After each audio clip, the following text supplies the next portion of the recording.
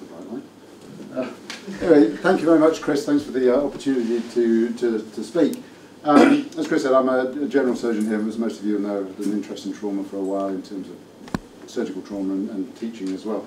Um, this is a, hopefully you'll find an interesting talk. I don't think there'll be a great deal to sort of remember from it, but there's a few sort of interesting features about trauma in the provinces, because at the end of the day, we all, or most of us here will work in the provinces. It's a talk that I've, I've given a few times over quite a few years, so some of the, the features may be a little bit uh, old, including the first one, which is apparently a picture of potpourri, because this is a bit of a, a potpourri of sort of interesting facts, some of which you may find rather boring, some of which hopefully a little bit more interesting, and then maybe one or two that might provoke a few thoughts.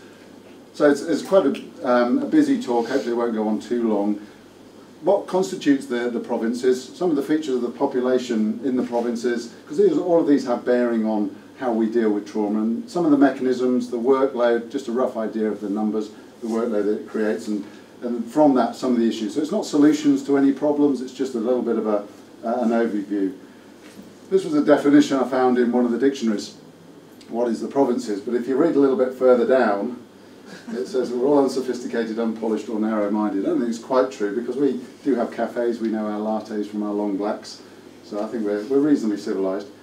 How much of New Zealand is actually in, in the provinces and rural? And so I've, I've lumped rural and provinces together. Um, about 53%, so just uh, over half of us actually live outside the, the big red blobs of Auckland, Christchurch, Dunedin, Wellington, uh, and the like. So, you know, it's a good proportion uh, of the population. Now, obviously, in different countries, rurality means different things, different distances from major centres and differences, therefore, from services, and that's important. There are a whole variety of differences, as you can imagine, rural population um, characteristics compared with uh, more, their more urban counterparts in terms of health, employment, education, age demographics. And one of the big things we know in, in Northland is the, um, the deprivation index. Now we know that uh, I think we're the second highest, lowest deprivation, if you see what I mean. Um, and that obviously has a bearing on services and a bearing on the ability of the, the region in general to provide those services, not just in hospital we're talking about here, but outside hospital, maybe even more so. Current population of Northland, I think, is about 172,000 now, um, so we're three between 3 and 4% of New Zealand population. Um, 72,000 I think live in the greater Whangarei area, so most of the population that we deal with is, uh, still drains into this hospital from even more rural than, uh, than, than, uh, than Whangarei itself. We have a slightly higher proportion of, of young people compared with New Zealand. As you can imagine, other provincial areas, I say Tauranga, but that's probably more metropolitan now, they will have a higher proportion of older population. So again, that's a slightly different demand. Um, and our post-school education is significantly lower than, than in the rest of uh, Northland, the rest of New Zealand rather. Um, we do have a higher unemployment rate. This, these figures are slightly improved now in the in sort of the latest figures, but it just gives you that, that idea. Um, and our workforce is slightly different. More outdoor work, maybe more high-risk work, as I've said then, forestry and agriculture, um, comprising quite a, a, a significant proportion of the, the workforce.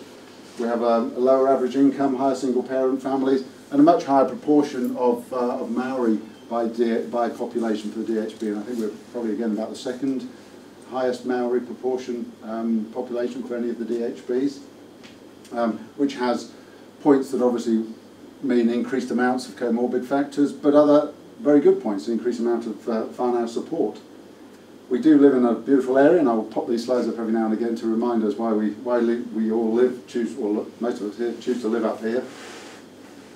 Seasonal fluctuations in uh, in the provinces are probably more so than in in rural areas. Um, we obviously get a lot more tourists at certain times of the year, both local and overseas, which can have bearings on how people drive and things like that. And that leads in itself to increased trauma demands, as the graph shows at the bottom, um, over for particularly the summer months, so January, February, March, and then building up around November, December. The increased amount of road vehicle trauma will happen more at those times. Certain high-risk recreational activities where you can meet the locals. Uh, we don't have bungee jumping here, don't think we have anything high enough, but you know, certain more high-risk things that we see. There are certain non-demographic factors that will have a bearing on trauma that rolls in through the doors. Now, because motor vehicle accidents always comprise uh, a lot of major trauma that we see. Roads are important. we've got six and a half thousand kilometres of roads, but not many of them, proportionally, are sealed when you compare them with New Zealand. Potentially, these are far more winding roads, and as we'll see in a few few slides, that actually has an indication on the amount of road trauma that we that we get. Uh, we don't seem to drive that fast in provincial New Zealand. That may be due because we've got winding roads, but if you go down to sort of the Waikato, some of the hospitals around there, the, the open speed road there, speed on the open road there will be much, much higher, as you can imagine with the straight roads. We um, don't have particularly high seatbelt usage up here, and we've all seen the traumas that have come in that have been ejected that haven't had their, their seatbelts on. Alcohol, always in the news about the, um, the amount of alcohol drunk and the amount of road crashes you have. Higher here, um, a much higher proportion of serious fatal um, injuries have alcohol on board. Um, some of the, these factors here I got from the, the police, and there's just a few graphs we can quickly look through. These are some of the major road safety issues that they've identified in North, Northland. So crashes on bends, winding roads, alcohol and speed, and we've already shown that, and roadside hazards, and I don't think they're all, all sheep. Uh, so this just shows a, few few things just for the slides, a few graphs on this slide, just for interest's sake, really, um, about sort of two, speed and alcohol being right up here, together with poor handling, um, and again, crashes down there, uh, mainly on bends, a high proportion on the bends, so losing control. Is that because we've got a high proportion of metal roads? Possibly, possibly not. Um, so as for the individual types of trauma, just while we're on cars and car accidents, motor vehicle accidents, the highest proportion and the largest overall subgroup, um, more so in the provinces than in the urban areas, probably because of speed-related things. Probably a lot more crashes in um, in metropolitan areas, but low speed, low um, low injury pattern that goes along with that. In Northland, as we see from that previous slide, we have around 20 deaths uh, a year um, from uh, from motor vehicle accidents, um, which is higher than, than Auckland, but is lower than certain other areas particularly Bay of Plenty and Canterbury and Southland. You can see those are the areas with long straight roads, so possibly higher speeds. If you're going to have a crash, you've got uh, a less chance of surviving them. Uh, and as you can see, again, the little figure down the bottom there, one out of 15 serious motor vehicle accidents in Northland uh, resulted in death, whereas compared with Auckland, it's only one in 50. Again, probably in relation to the sort of the speeds. Uh, this a whole set of other graphs just basically showing um, probably more yeah, nothing particularly different from we've already talked about there, so I'll move on. Now those, those features tend to be more exaggerated the more rural you get. So when we're getting to the far north, there is a higher speeding and alcohol usage for the accidents that they get, and probably consequentially a higher serious injury and, and death rate. Some factors that may or may not have anything to do with that, time to detection, the relative isolation, transport issues, further on to, and longer to transport. However, most, accidents do tend to happen on the major highways, and you can see the red ones, which are the fatals. The predominant ones are up on State Highway 1, State Highway 12.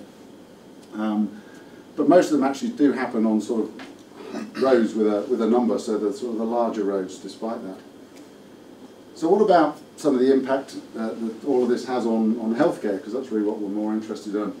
So it does impact on the type of trauma we get, the numbers of trauma we get, and maybe the timing of the trauma, so seasonal fluctuations, that sort of thing. Our patients may have a higher number of comorbidities, so that's going to impact on how we look after them. There's poorer social situations in general out there. Is there going to be increased demand on services, rehabilitation services, things like that when the patients get out of hospital? Yeah, these are all, like I said, just thoughts. And are the provinces, because of resource implications, are we a little bit less able to, to cope with all of that? Um, the figure that I got there was motor vehicles alone is 94 million. It's, it's a number at the end of the day, but it's just a, a big number. But we all still choose to live here because it is still nice to, to live here. Um, from the HQSC, so their Health Quality um, Committee, this is just showing where Northland sits in admissions due to, to trauma per, per 100,000. So we're above average on that, so we've got a darker colour purple. Um, and you can see the other provincial areas in the darker colour purple. Know, less than maybe some of the larger uh, metropolitan areas. In terms of sort of the death rates and mortality, we're actually right slap bang on the average, um, which is probably good. Do we get more trauma, do, but do we look after them better? Maybe, we all probably like to think so. We make them survive. But again, if you look at other rural areas, Taranaki um, in the southern region, then they've got a sort of a higher mortality from trauma. Just for interest, I looked at some of the common mechanisms of, uh, of trauma just to see how we compare with, um, with the rest of New Zealand. And as you can imagine, for cyclists, Mr. Lingle will be pleased to see that, we'd do better. Um, drownings, as you can imagine, were probably higher. Environmental factors, that's a whole nebulous group. I don't really know quite what that means. Uh, machinery, higher. Um, the best, best one, I think, is that we do better in overexertion. survive more overexertion, whatever that may be. The motor vehicle accidents, again, they keep rearing their head much higher than, than on average in New Zealand. This was a, a reasonably controversial statement made quite a long time ago. It's, it's from America, this, but you know, rurality is a is a international feature. It says that rural residents are 50% more likely to die from trauma, trauma than their urban peers, which sounds terrible. Oh my goodness, why do we live you know, out of an urban centre? Because we're going to die as soon as we fall over. But they were able to extrapolate back and said that hospital volume and therefore by extension rurality, because obviously smaller hospital, less people tend to get admitted there, did not seem to affect the survival. So they thought that the rural care was as good as, or no worse um, than urban counterparts. So therefore, the death rate could be attributable to gaining fast access to definitive care, which obviously has a bearing. Um, it's still nice to live in Northland though. Uh, another reason for living in Northland, house prices, what you can buy in Auckland, you can buy up here, far better. Um, what actually turns up, the figures are probably not up to date, Scott will be able to tell me, but you can see we do get a lot of people running through ED, um, not short, not that far short of 40,000, uh, probably over that now I suspect. The number of trauma calls a year depends a little bit on definitions, um, but you can see that you know, 300 400 a year, that's at least one a day, realistically, probably more so now. Um, we have about 60 major trauma admissions. Again, again these, these are probably two years out, out of date, but 60 major trauma admissions, so an injury severity score greater than 15. Um, lots of minor trauma admissions. Not that many go on to get transferred straight to a tertiary centre, and that's mainly head because of what we have here. We all know about Whangarei Base Hospital, where we, we live and work. Um, how many, this is just from the general surgical point of view, seven general surgeons, eight orthopaedics, but next week it might be nine, I don't know, they all seem to add, add to them. Um, we do have rural hospitals uh, that are all part of Northland DHB as well. What about the services that we offer that have some bearing on trauma? Well, general surgery, um, we're limited because we don't have vascular on site, we don't have neurosurgery. Pediatrics, plastics, very, very limited. Um, but we just about provide everything else. Orthopedics, they always used to transfer out the complex pelvics, but that may be changing as, as new appointments come around. radiology, which is very important, we're doing better now with CT scans because we've got two, but still um, things like interventional angiography to stop bleeding um, is, is really very limited. Intensive care, we've got an intensive care unit with dedicated intensivists, ED, nine consultants we think now. Um, proximity to Auckland is important for, for us up here and it's not just not just talking about Northland, but other provincial centres. So their, their proximity to their major centre is important. You know, how far is too far to transfer patients? But we haven't. It doesn't take long to fly between the, between here and Auckland. So these. Uh, sorry, I'm moving on quite fast, but just to get through things really. Uh, these are just some of the thoughts that, that I'd had about things, um, about what what matters actually in trauma in the in the provinces. Some pre-hospital issues. As we said before, some of these accidents can be quite remote. They can be out in the middle of the forestry. We, we had one last year, I think, a very bad forestry injury that took ages to be extracted because of where it was. And it had probably a life-ending consequence to, to that particular patient. Hypothermia can become an issue. Bleeding, obviously, if it's continuing, can become an issue. So the time taken to recover the patient and the type of transport issues that um, that stem from that are, are particularly important in how we manage trauma in the provinces, or particularly in rural areas at least. So is scoop and run less of an option? We've got to do more there because it will take longer to get the patient to hospital. These are just really thoughts. If we're going to need to do more at the scene, do we need to have more paramedics um, to be able to, to sort of deal with some of these things early on? Uh, Helicopters we use a lot in Northland, I think we do it very well here, probably better than, than almost any other region in the, in the country.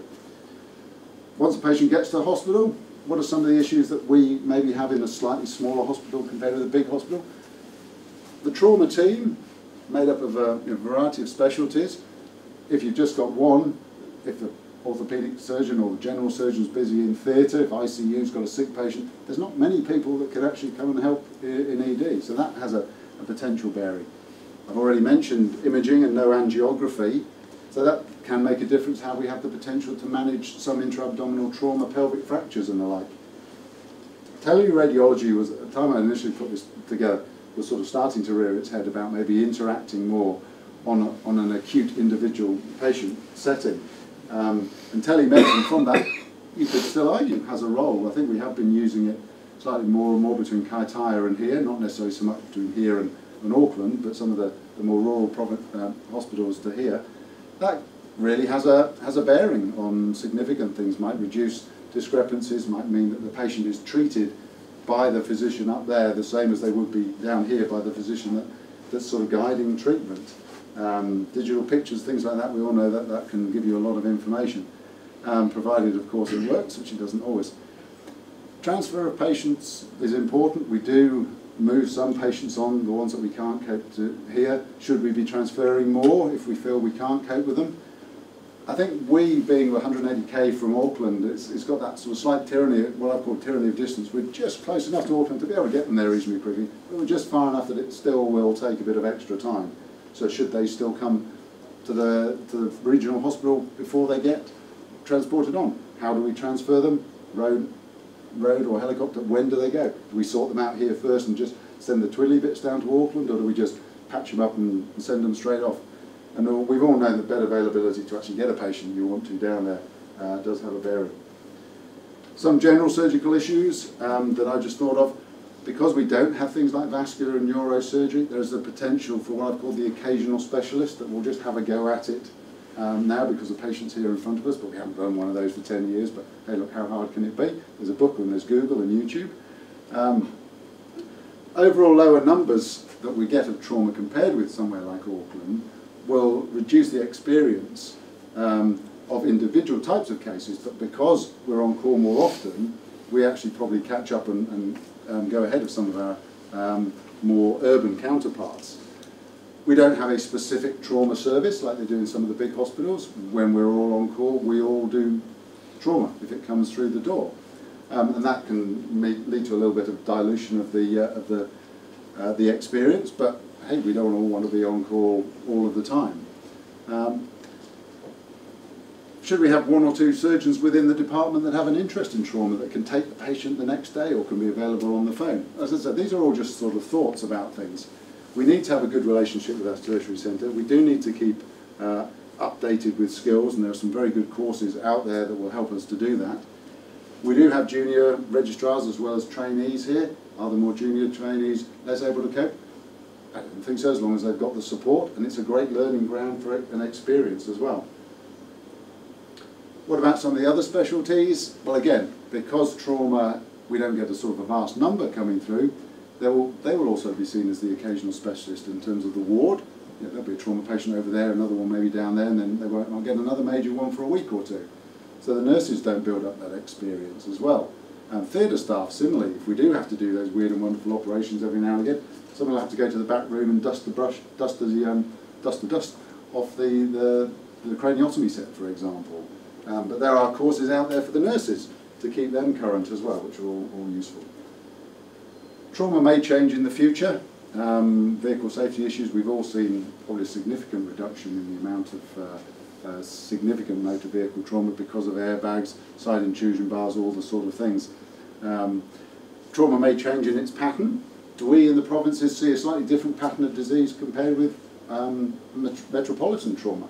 Is it a different disease? Is that going to impact on training? You know, if you're going to finish your surgical training and go and practice in a major centre where there's a trauma team available, where there's a, um, there's a dedicated trauma theatre, that sort of thing, is it different? Do you need to do less trauma training than if you're going to come to the provinces when you, you might be called on to do all sorts of things? I think that the Australasian system is generally very good. Trauma has always received a fairly um, strong profile in general surgical training. Um, and I think at the end of it, because we come out as a general surgeon here, we are competent over a variety of body um, cavities. So when the complex trauma comes in, and you know it might go from one cavity to the other, we can usually uh, usually cope. So that's about it. Very quick run through. Um, sorry for the speed, but hopefully we've just shown you some, some features of provincial trauma and from the provinces in general, some of the different um, differences in, in the population and the makeup of trauma that we, that we get here, and just give you the opportunity to have some thoughts about it. Thank you.